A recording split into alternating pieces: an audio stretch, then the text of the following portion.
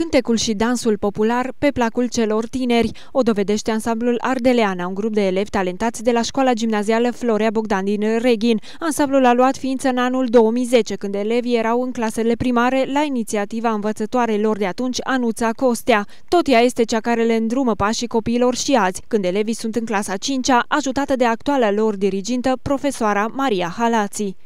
S-a înființat în anul 2010.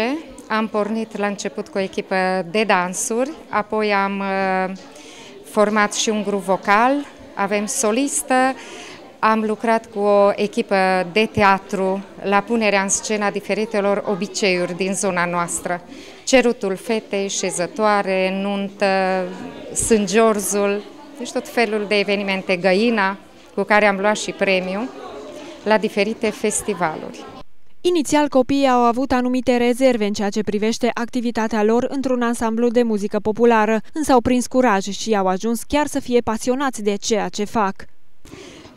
La început au fost sceptici, însă cu timpul când au văzut că sunt aplaudați, că ne deplasăm prin țară la concursuri, au început să fie din ce în ce mai uh, bine deci să fie din ce în ce mai prezenți și să participe cu plăcere. Chiar ei mă întrebau uneori de ce nu mai învățăm și altceva.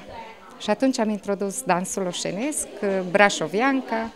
Eforturile și pasiunea ansamblului sunt răsplătite atât de public cât și de specialiști. Ardeleana a obținut multe premii la concursuri din toată țara. Am fost la Pașcani, de două ori, anul trecut și acum doi ani, unde am luat prima dată locul 2, anul trecut locul 1.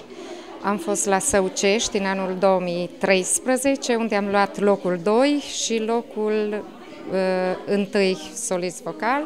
Am fost la festivalul de la Gurghiu, uh, unde am luat locul 2, locul 3, la Cluj, Apahida Cluj, unde am concurat cu elevi de liceu, n-am știut că sunt așa elevi mari, nu ca noi, dar totuși am obținut uh, mențiuni și acolo. Ansamblul Ardeleana are în componență un număr de 28 de elevi din clasa 5 -a. Dintre aceștia, 20 fac parte din trupa de dansuri.